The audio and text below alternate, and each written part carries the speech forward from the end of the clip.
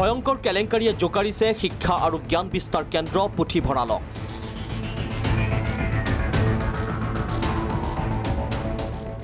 পুথিভঁৰাল উন্নয়নৰ নামত সংঘটিত ষাঠি লাখ টকাৰ কেলেংকাৰী।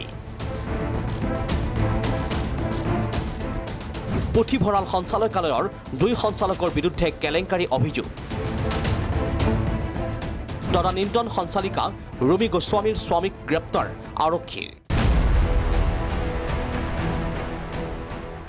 ৰাজ্যৰ পুথিভঁৰালসমূহ উন্নয়নৰ কাৰণে কেন্দ্ৰীয় চৰকাৰৰ অধীনস্থ ৰাজা ৰামমোহন ৰায় পুথিভঁৰালৰ পৰা অসমৰ এশ নিৰান্নব্বৈটা পুথিভঁৰাললৈ প্ৰদান কৰা হৈছিল আৰ্থিক পুঁজি।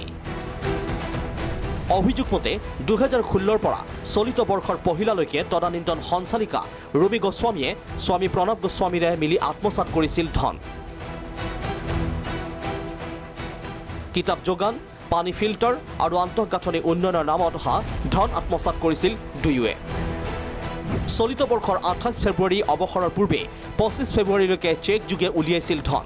ডাইৰেক্টৰ অফ লাইব্ৰেৰী চাইন্স ছায়েন্সৰ তেওঁ এটা এজাহাৰ দিছিলে যে তেওঁলোকৰ আগৰ ডাইৰেক্টৰে বহুতখিনি পইচা ফাণ্ডখিনি তেওঁ কিছুমান ইৰেগুলাৰিটি কৰিছে বুলি আমি খবৰ দিছিলে তেওঁ সেই অনুসৰি আমি কেছ এটা ৰেজিষ্টাৰ কৰিছিলোঁ। Panbazar police station case number two sixty three twenty two under section four zero' six আৰু ফ'ৰ জিৰ' নাইন আৰু আমাৰ আই অ' ইনভেষ্টিগেশ্যন কৰি পিনি গম পোৱা গৈছে যে তেওঁ around forty six lakhs thirteen thousand rupees তেওঁ নিজে নিজলৈ চেক উলিয়াই পিনি কিন্তু ছাপ্লাইৰ কাৰণে পইচা আছিলে এলটেড সেইটো তেওঁ উলিয়াই লৈছিলে।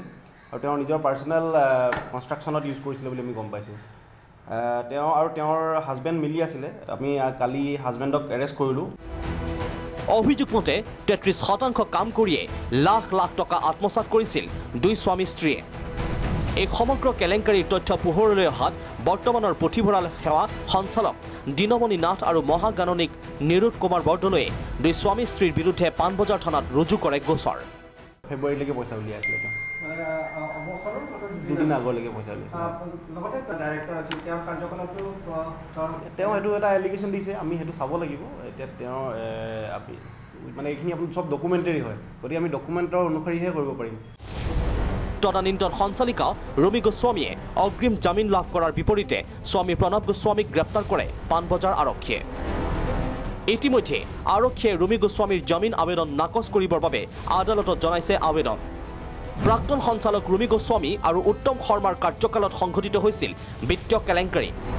গ্ৰেপ্তাৰ হোৱা প্ৰণৱ গোস্বামীৰ বিস্ফোৰণ আৰু বহু লোক জড়িত আছে এই কেলেংকাৰীত। নহয়, মই ন- মই নহয়। নহয় নহয়। আৰু আছে অফিচৰ মানুহ আছে। বহুত জড়িত আছে। আৰু কোন আছে? বহুত জড়িত আছে। এই কেলেংকাৰীৰ সন্দৰ্ভত অতি শীঘ্ৰেই আন কেইবাজনো গ্ৰেপ্তাৰ হোৱাৰ পূৰ্ণ সম্ভাৱনা আছে। ভিডিঅ' জাৰ্নেলিষ্ট ৰাজুৰ সহযোগত ববিতা গগৈ ৰিপৰ্ট প্ৰাগ নিউজ।